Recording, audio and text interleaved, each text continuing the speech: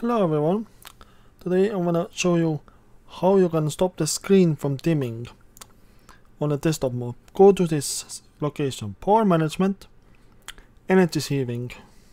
Set this to the maximum just in case as a backup plan. Suspend session can be turned off only on AC power. On better power it always resets so I put it in reasonable numbers like 100 minutes for the sleep, 90 minutes switch off after and on on battery low 10 minutes 11 12 anyway and ac activity power settings. Define special behavior.